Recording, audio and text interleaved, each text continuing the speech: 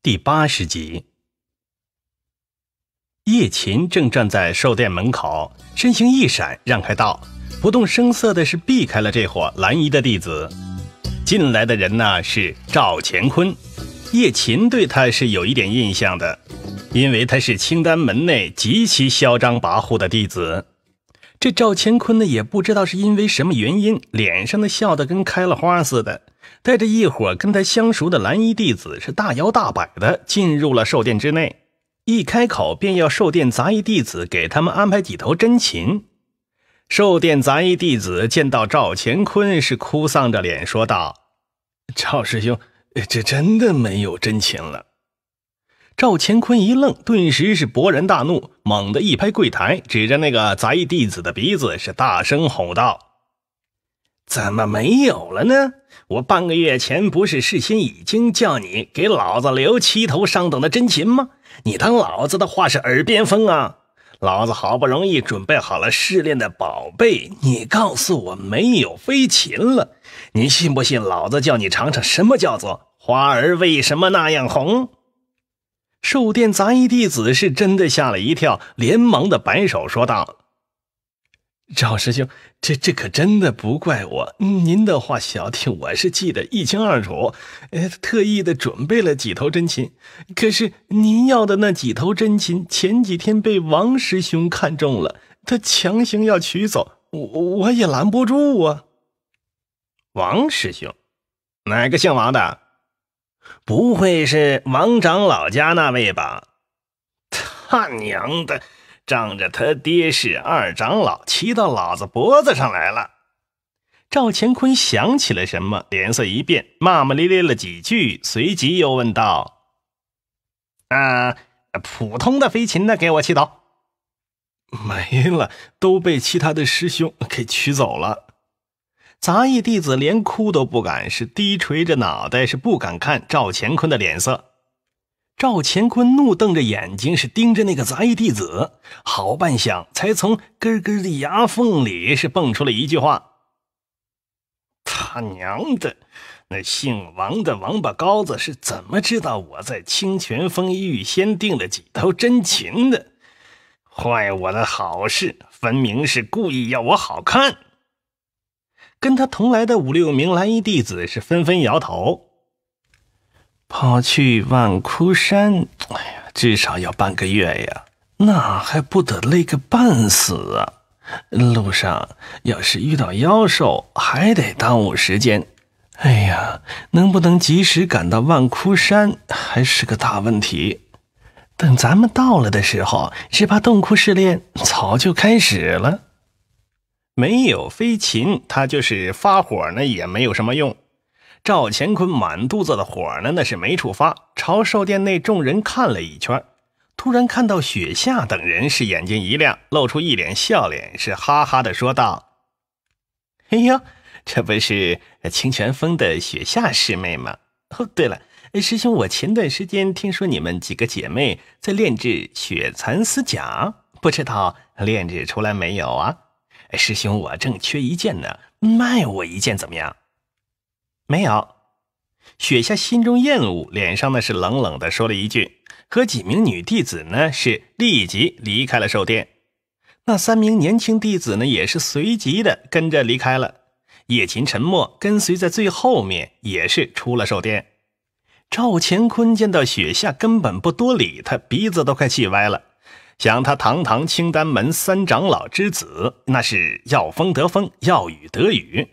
可偏偏这半年呢，就是邪门，什么事情呢都是不顺心。一坛灵酒被大师兄几个人给抢了，他在这清泉峰啊，是偷偷预定好的几头真兽，被那姓王的小子呢给抢了。现在连个青衣的女弟子啊，都敢不给他好脸色看了。他这还是三长老的儿子吗？他刚刚从他老爹那里出来的好心情是一下子全没了。旁边一名蓝衣弟子眼睛那是咕噜噜的一转，低声的说出了一个主意：“赵师兄，要不咱们半路？”赵乾坤听到了这个主意，是沉着脸想了一下，咬着牙是大步的走出了寿殿。走，给他们一点颜色瞧瞧。否则别人还以为我姓赵的是好惹的。灵雾山脉被众修仙门派所占的地盘啊，其实不足千分之一，其余绝大部分的地方还都是蛮荒之地的森林，被众多的妖兽呢所占据，其中又以地面上的妖兽居多，而空中的妖兽则是相对稀少。原因很简单。那就是经常有筑基期以上的修士在灵武山脉的半空御剑飞来飞去，那些飞行妖兽遇到他们，多半呢是被这些筑基期修士所击杀，所以呢数量很少。而地面上的妖兽深藏在森林洞穴，杀不胜杀，筑基期修士呢多半呢是不会理会的。叶琴考虑过自己要单独上路前往万窟岭。不过，既然有同门相邀，是结伴而行，他还是选择和同门一道出发。这样啊，安全上要稍微高一些。他们一行八人全力施展御风术而行，转瞬间便已经离开了青丹门千里范围之内。按着灵雾山脉地形图卷轴上的指示，是赶往万窟山。白天的时候赶路。晚上的时候，则在山岭内找个安全的地方住下来安营，以免呢出现意外。可是他们完全没有想到的是，才刚刚离开青丹山脉的师门领地的巡逻范围，他们便被一伙人截住了，并且这伙人呢还不是别人，正是一直尾随在他们后面的赵乾坤等七名蓝衣弟子。哈哈，真巧啊，咱们又见面了。都是同门师兄弟，闲话我就不多扯了。几位师妹，把你们的血蚕丝甲都交出来吧。师兄我大人大量，不计较你们之前的恶劣态度。还有那几个小子，把你们最趁手的灵气都交出来吧。赵乾坤是站在一块巨石上，负着双手，脸上的满是傲色，努力的装出一副玉树临风的模样。可惜呀，那张瘦猴脸破坏了他的形象，好像是一头大马猴站在上面似的。其余的六名蓝衣弟子各自呢是站在巨石之下，是甘当绿叶衬托着他的威风，双手呢抱胸看好戏呢。八个人呢是一惊，是纷纷亮出了各自的灵气、刀剑之类。其中一名领头的青年上前一步，大怒的说道：“姓赵的！”公然打劫同门，你不怕青丹门门规处罚吗？赵乾坤是鄙夷的瞧了那个青年一眼。我呸！你是哪里钻出来的废物？乱羞臊什么呢？门规顶多让我禁闭几个月而已，别不识好歹。就凭你们这些人，根本没有资格参加什么痛哭试炼。你们以为那朱鸡丹会有你们的份吗？哈哈，那是天大的笑话！现在你们把最好的灵气都交出来，等师兄我参加完试炼，得到筑基丹，成为筑基修士之后呢，少不了赏你们一些好处的。也许说不定，到时候师叔我一高兴，做了你们的靠山，让你们从此啊在师门内无忧。那些蓝衣弟子纷纷跟着大声说道。立刻把灵气都交出来吧！咱们马上还要赶路去万窟岭呢。那领头的青年瞧了左右一眼，壮起胆，气愤的说道：“凭什么要把灵气给你？别以为你们是蓝衣弟子，我们就会怕了你们。我们，我们这边可是有八个人呢。凭什么？就凭我家老头子给我的这件宝贝。”赵乾坤是嘿嘿的冷笑，他一拍腰间的储物袋，里面立刻飞出一柄数寸长的蓝色小剑，通体呢是流光溢彩，灵气破人。这枚小剑出来之后呢，画了一个漂亮的弧，是灵活的漂浮在赵乾坤的身侧，指挥自如。法器，玄银剑，那是赵长老早年的成名法器。八人小队有人是惊呼的说道。您正在收听的是由喜马拉雅出品的长篇经典玄幻类小说《子府仙缘》。那几个青年弟子相顾一眼，皆见骇然，退后了几步，眼神之中呢是根本没有了斗志，已经是全是退却之意。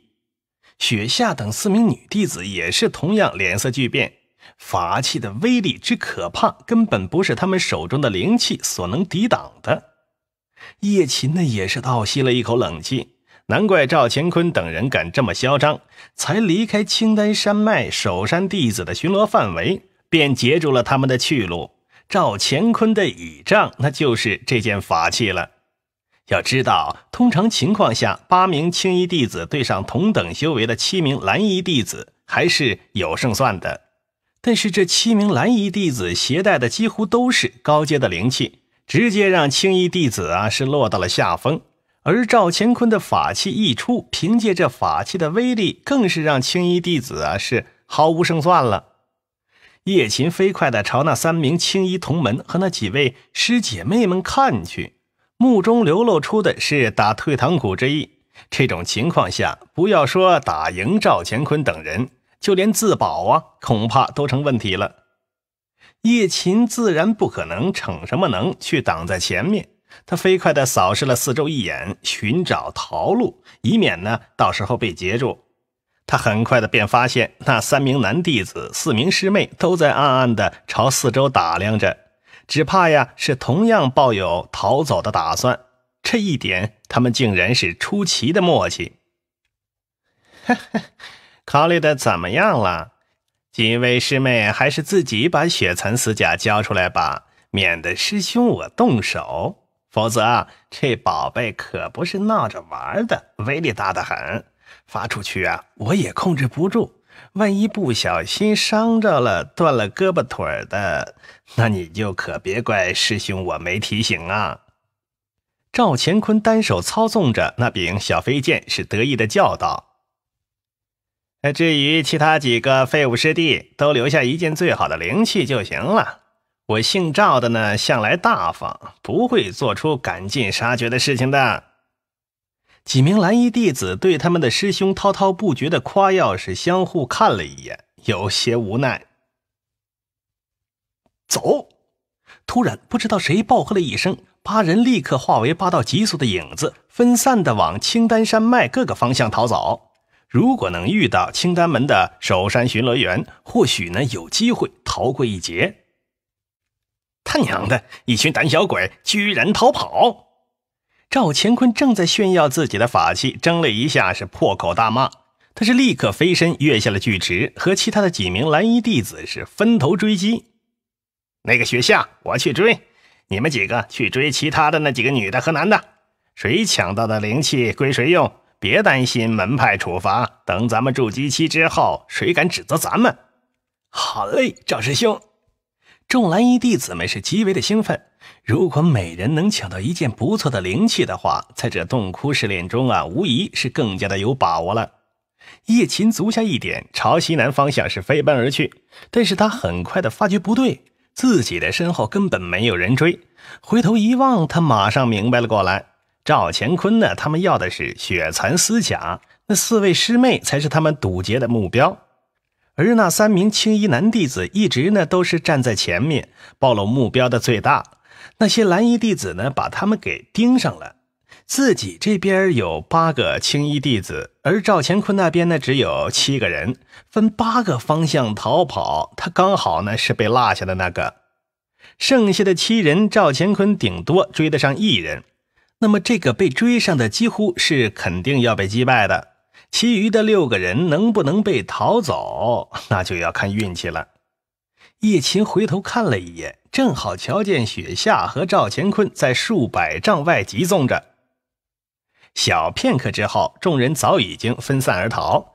一片山岭乱石林中，雪夏神色惊慌的在乱石林中是躲避着他身后一柄数寸长蓝色剑芒的追逐。对于炼气期弟子来说，法器最为霸道和可恨的地方，那就是可以远攻近防。他手中的灵剑呢，是根本无法攻击到赵乾坤，而赵乾坤呢，却能轻松的用飞剑对他发动进攻。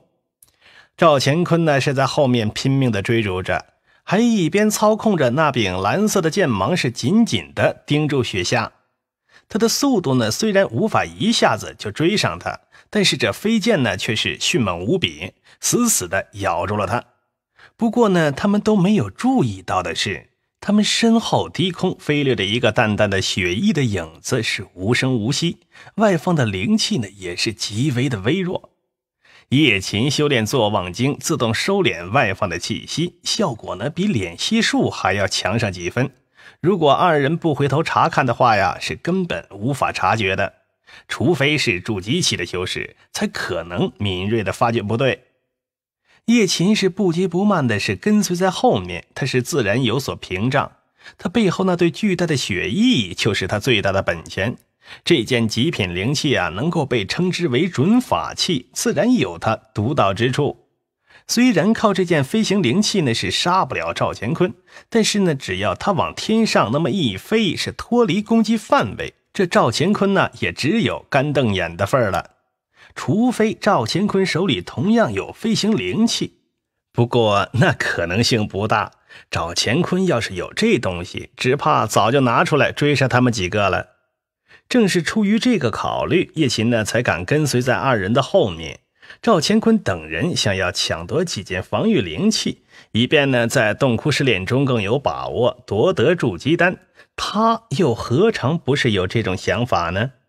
为了夺取灵石，这洞窟内肯定是血腥无比，各个门派之间的厮杀那肯定是少不了。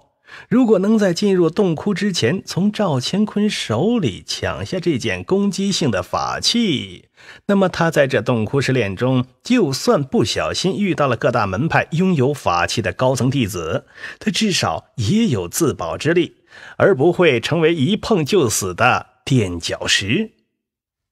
对付赵乾坤这个半吊子的门派高层子弟，比对付那些真正的强势高层子弟那要容易很多。叶琴对飞剑法器的威力呢还不清楚，心中呢有所忌惮，跟在数十丈之后的安全距离进行观察。至于要不要出手，只能是见机行事，看看这飞剑呢是否有弱点再说。雪下能够在赵乾坤的手里支撑多久？这一点呢，并不在他的考虑之中。这不是他无情，毕竟青丹门同门炼气七弟子八千，谁也不会为一个刚见过几面的同门搭上自己的性命吧？反正他是不会的。换做其他的同门呢，见到他被高阶修士追杀，没有把握的话，也同样不会贸然出手相救。雪师妹，我知道最好的一件雪蚕丝甲肯定在你身上，很可能就穿在你的身上吧。把它交出来吧，我可不想让师妹和他一起被飞剑给刺一个窟窿来。赵乾坤一边操控着飞剑，一边兴奋的大喊着，眼中还闪烁着一些淫秽的不堪的目光。叶琴有些纳闷。从一开始到现在，赵乾坤只是大喊大叫，拿着法器对他们进行威胁，但是呢，是光说不练，并没有真正的动手攻击。叶琴不认为赵乾坤无法用这法器，只是装腔作势，因为毕竟赵乾坤是要去参加洞窟试炼的，要是没有几把刷子，他也不敢去送死。但是赵乾坤宁可一遍又一遍的出口威胁，始终呢是不用这飞剑，只怕这飞剑有受到局限的地方。做梦！这件雪蚕丝甲是我费了十年心血收集了最好的蚕丝才编制而成，你就算杀了我，也休想得到。雪下提着一柄三尺长的水晶剑，足下是丝毫未停止，回头恨恨的是盯着赵乾坤。右手呢是掐诀，一道蓝色的水剑朝身后打了过去。赵乾坤身上有护身罩，是根本不惧这威力薄弱的水剑，硬扛了水剑的攻击。这水剑呢是破不了护身罩的，但是却让赵乾坤的速度一下子就迟缓了下来。那就可别怪我动杀手了！掌！暴喝一声，赵乾坤脸色一沉，将法力全力输出。蓝色剑芒猛地一吐，短短数寸长的玄银剑立刻就迎风而长，化为了一柄近一尺来长的短剑，当头朝雪下一剑斩了过去。飞剑在御剑术的操控下，随着法力的输入，那是可长可短，最短数寸，最长数丈。赵乾坤的修为呢，只是炼气期的九层，无法发挥这柄飞剑的足够的威力，顶多呢让它长到一尺来长而已，大约呢发挥出它的十分之一左右的威力。但是这已经是相当吃力了。不过这一尺飞剑威力，那已经是足够强横了。